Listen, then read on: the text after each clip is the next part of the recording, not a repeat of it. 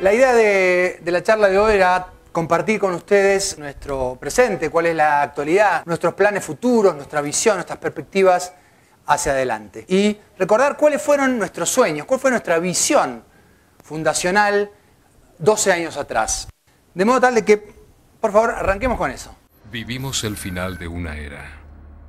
La telefonía actual ofrece redes obsoletas que fueron creadas para la transmisión de voz y que ahora son adaptadas para transmitir datos y video. El resultado está a la vista. Los usuarios se duermen, esperando que la información llegue y que las telecomunicaciones sean por fin una herramienta de crecimiento para sus empresas. Ellos son los profesionales más calificados del mercado nacional. Tienen en su directorio a hombres de experiencia mundial y el respaldo económico de una de las empresas privadas de inversión más grandes de Estados Unidos. Y sus oficinas están diseñadas para una nueva era. Te van a dar un servicio flexible, sin atarte con ningún contrato fijo. Y Plan Networks. Think IP. Think y Plan. Se trataba de generar una nueva experiencia de servicios de telecomunicaciones para las pymes, permitiéndoles convertirse de usuarios a clientes y dándoles acceso a tecnología que hasta entonces solamente estaba disponible para grandes empresas.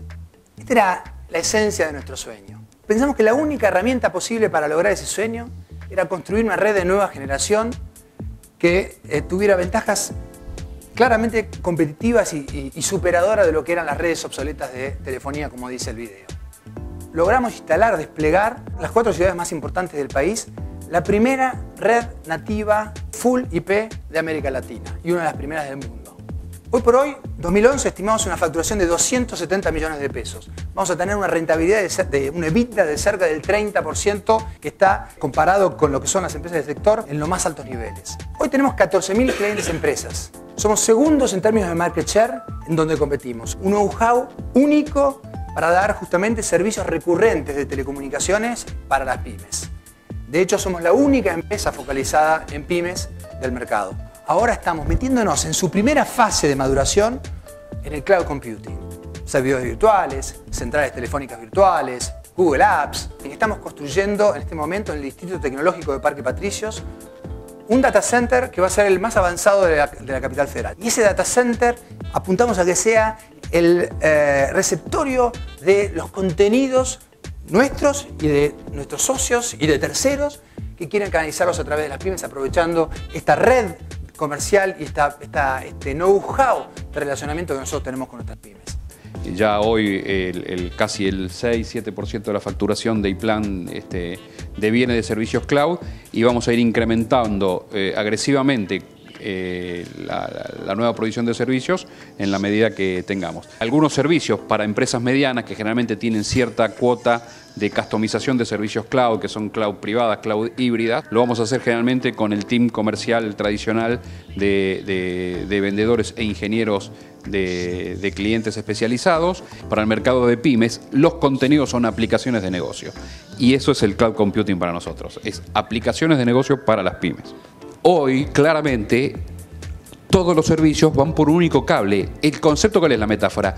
Todos los servicios se dan por Internet. Telefonía por Internet, servicios de infraestructura virtualizada por Internet, desktop privado por Internet, storage por Internet, lo que quieras por Internet. Esa visión de 10 años, mira si tiene vigencia. Hacemos inversiones de expansión de nuestra, de nuestra red en la medida en que identificamos un área puntual donde se concentra eh, mucha eh, mucha demanda de, eh, segmento del cliente, de clientes al que vamos y ahí sí expandimos. Justamente con la expansión de servicios cloud vamos a, a, expandir los servicios de central telefónica virtual.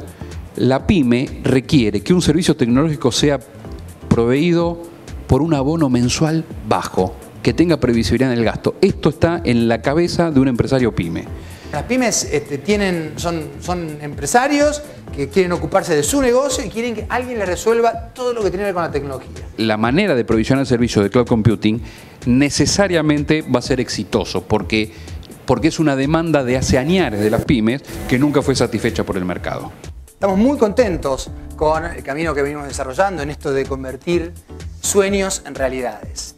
Y la verdad es que queremos llevar muy muy alto a las pymes, la queremos llevar hasta las nubes.